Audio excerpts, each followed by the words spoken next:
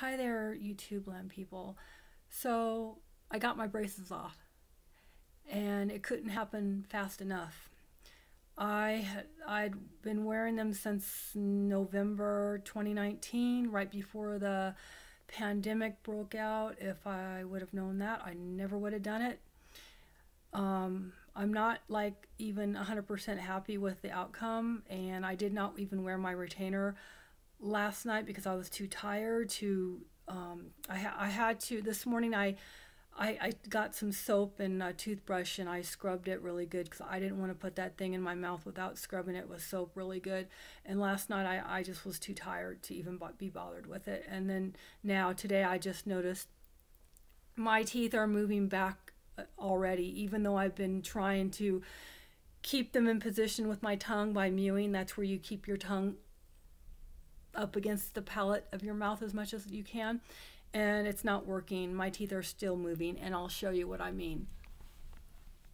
This tooth is already, can you see? It's already, this tooth is already shifted back behind this corner has already shifted back behind the corner of that tooth that used to line up and now it's not lining up anymore. See? The corner is is gone almost behind the corner of that tooth. And also another thing I've noticed these teeth aren't perfectly level. It, it's it's not necessarily what the orthodontist did or didn't do. It was a lot worse. But as you can see, this side's higher than this side. And what it is is it's the the this tooth is um, worn more than that tooth. It's just the way my teeth have worn. So if I ever want to fix that, um, I'd probably have to get a, a veneer on this one and then file. Um, I'm not going to do this anytime soon, but I'd have to file this one because it's too long and pointy. And I'd have to get a veneer on that one to make it look level like this side. And um, yeah, so I'll tell you what happened.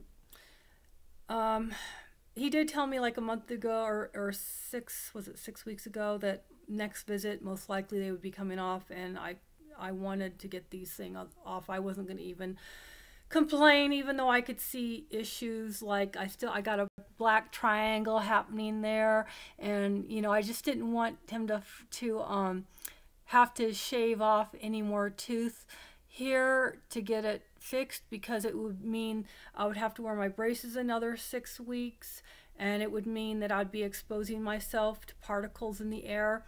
And that's what brings me to my next complaint, which is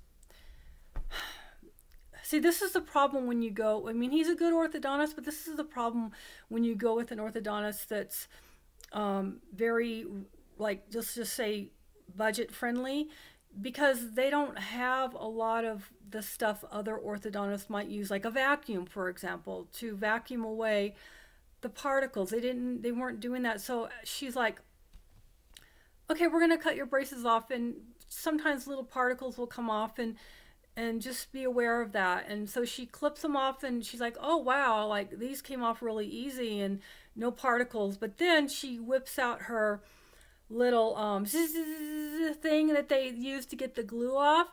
And these particles are just going everywhere. And there's no one no one no help no no one standing there with a vacuum to suck it up. And i can feel them going like in my nose all these particles. And i'm thinking this is nuts.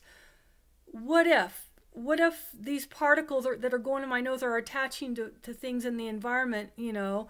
And i'm getting exposed to it. And i said to her can we not do this? So, you know, because I'm afraid. And so she only did like these teeth and she left all the glue on these bottom teeth. So I have a fingernail file when I came home and today, like I'd been using the fingernail file and I and I actually got it to where it's a little more smoother so it's not so much glue left but there's still some glue left on my bottom teeth and I'm just gonna let let it wear away naturally. I'm just I'm not even going to go back. They they want me to go back next month to do a checkup. I'm not going to because I am terrified. I've been doing a lot of research. And the more I learn, the more scared I am. And, you know, it's something like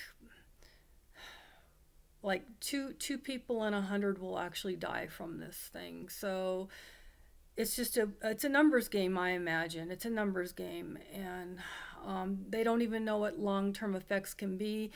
There's been proof shown that people that are asymptomatic also can have lung damage and, and different damages into different things in their body, even though they never have symptoms. It's terrifying, and I'm not willing to gamble with my health like that. I'm I'm I feel like I'm lucky if I escape this unharmed. Basically, that's how I feel. And again, I never would have got braces if I would have known all this. You know, it was going to happen just a few months after. That's crazy. I mean, go figure. Murphy's Law.